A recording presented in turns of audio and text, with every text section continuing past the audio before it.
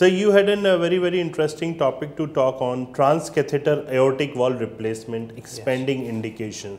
So what have been the usual routine uh, indications in which we have been using this procedure, sir? Right. So transcatheter aortic valve replacement represents a non-surgical methodology to replace the aortic valve. Right. And in times immemorial, the only way to change a valve has been open heart surgery. Correct. Put a patient on a cardiopulmonary bypass, open the chest, open the heart, and then replace the valve manually and stitch it in.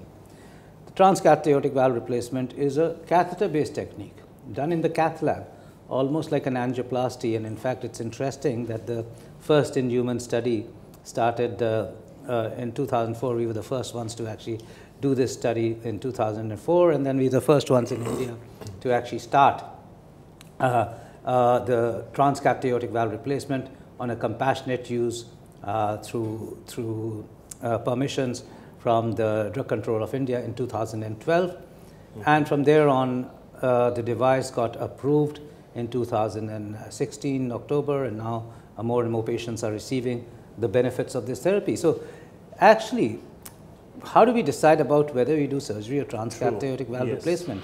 So, actually, the, the whole stuff, uh, uh, firstly, of course, this is a disease of the elderly. Aortic Correct. valve disease is usually a disease of the elderly. And anywhere from 70 years of age to 90 years of age, the valve can actually narrow up. And therefore, if it narrows up, it puts a lot of strain on the heart.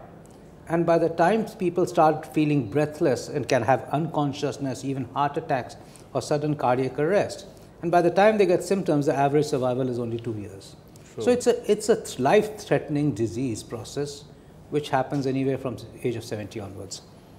And most, mostly these patients are high risk for surgery because of their age, because of the other comorbid conditions. The kidneys may not be so good, the lungs may not be so good. So they're high risk for surgery, and some of them may be even inoperable. They can't have surgery sure. at the age of 85. And this technique, because it's an angioplasty like methodology, is performed through the groin, through the femoral arteries, is performed in the cath lab, can even in the most high risk individuals can actually be performed with 1 to 2 percent risk with more than a 98 percent success with a rapid return to activity within 2 or 3 days and people going home. So it's a revolution in its, in its, in the way it's, it's uh, done and also that we are now able to do it on 65 year olds and 60 year olds and many people who've had previous bypass surgeries are opting for this, this form of therapy. So it is a boon for a lot of people. When so, we uh, talk about the expanding indications, true. obviously people who can't have surgical aortic valve replacement, people who are high risk for surgical aortic valve replacement, people who are even are obviously candidates for this because it can done be at a lower risk.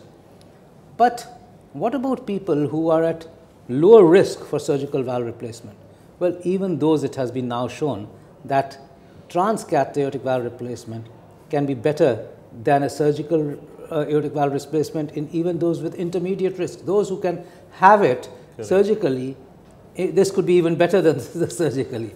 So, so surgically, uh, uh, surgical aortic valve replacement. And the rehabilitation will be much much quicker in cases of transcatheter, I believe, as compared to the surgical. You're, you're absolutely right because it is the the patient is eating normally that very evening, True. is walking around the next day. True. As an elderly, it's very important to have them walking around earlier so they've got no, no bed immobilization. True. And they're practically ready for discharge often on the second day along with other angioplasty patients. And when you look at these patients who are 80, 85 year old, even up to 90 year old, it's heartening to see that through a simple procedure, right. they're standing the next day and walking around, and in fact are even saying that have you really done anything because I feel so well. True. And because the aortic valve is immediately replaced and starts functioning well, patients feel well the very next day compared to what they were before surgery. So yes, it is remarkable in terms of, uh, of uh, the least morbidity it offers to the patient. In fact, it's already been shown that in the first year, the quality of life given by transcatheter aortic valve replacement is far better than surgery, uh, primarily because there's no immobilization and patients back to normal within 48 hours. So how many centers in India will be doing this procedure currently? So, so, so while we were the first to start off and we've trained a number of people, right. at the moment there are 27 centers doing it.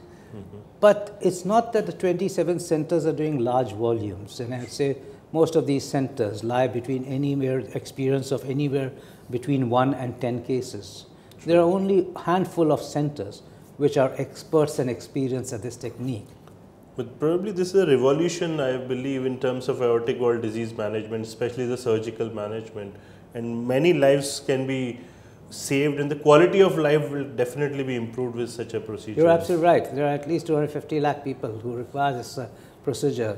Uh, and uh, and uh, better, and the challenges are there for everybody to have it. But I, I tell you, better, better information to the patients, better information to the doctors, uh, is one of the one of the most valuable aspects True. of making this therapy available uh, to the public. And the other aspect is, of course, is that we are in the process of even developing indigenous, indigenous catheter-based valve.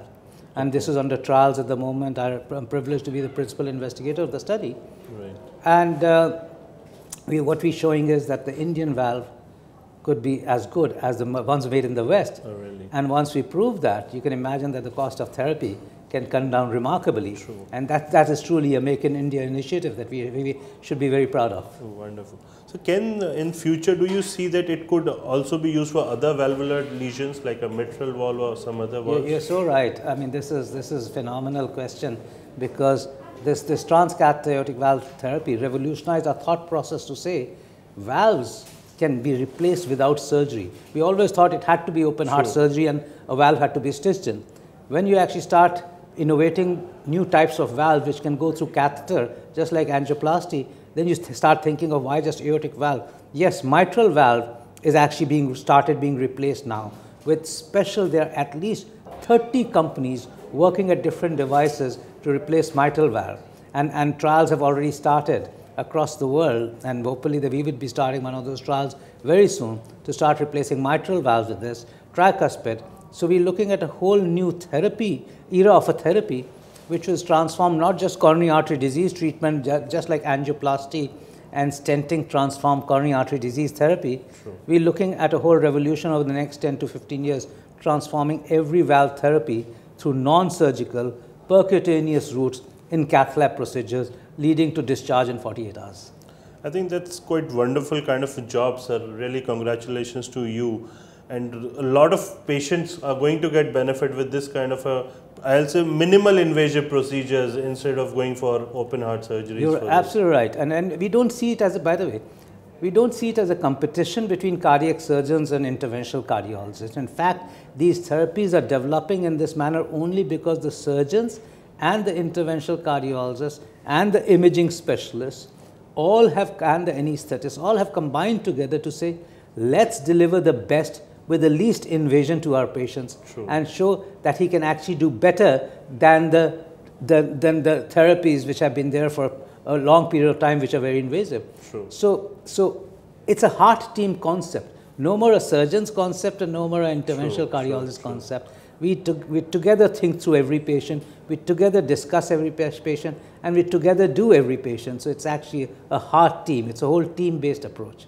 Thank you, sir. Thanks a lot for joining us today and sharing the wonderful work you are doing. Thank you, sir. Thank Thanks you very much. much. Pleasure to meet you. Thank you. And sir. it's wonderful to be on this TV.